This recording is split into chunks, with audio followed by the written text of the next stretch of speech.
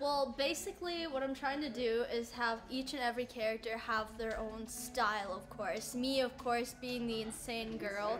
I have my sister, who is the bride right now, but she soon will be um, the doctor later on. But she's more of that fallen bride. Here, come here, Tori. She has like stitches and stuff. I don't know. She's, I don't know. It's pretty cool.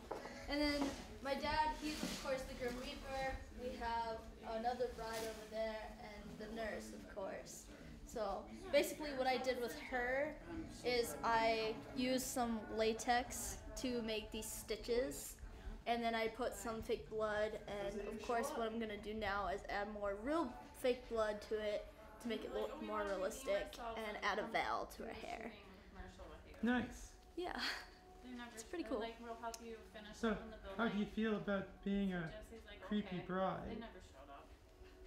Never showed up. it's really hard for her to talk because these things have to be on tight, and so Mm-hmm. yeah, it earns.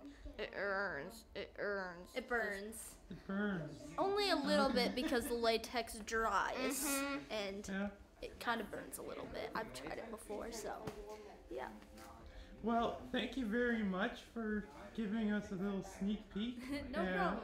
You know those little effects at the makeup for this commercial Yeah, shoot clip. at Gutches Grove. Yeah.